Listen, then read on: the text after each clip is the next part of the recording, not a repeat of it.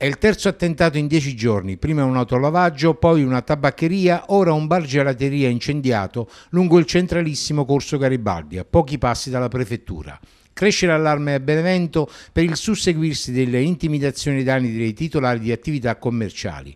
L'ultima è stata messa a segno la scorsa notte, quando i malviventi hanno scatenato le fiamme nel locale di una 43enne. L'incendio è divampato all'altezza della saracinesca di un ingresso laterale e si è poi propagato all'interno. Ingenti i danni, annerito anche il balcone di un appartamento al primo piano dello stabile che ospita il bar.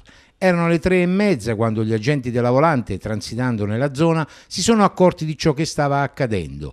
Hanno portato in salvo il proprietario dell'abitazione, hanno chiesto l'intervento dei vigili del fuoco che hanno domato il rogo. La scientifica ha provveduto ai rilievi, la mobile ha avviato le indagini per risalire agli autori del gesto, nessun dubbio sulla natura dolosa, confermata dal rinvenimento di tracce del liquido infiammabile adoperato.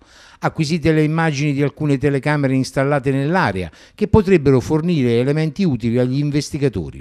Resta la preoccupazione per un episodio che allunga la lista degli avvertimenti registrati nel capoluogo Sannita, segnali indiscutibili dell'attivismo di una criminalità che nonostante i blitz e gli arresti continua a far sentire il suo peso su un'economia già costretta a fare i conti con la crisi.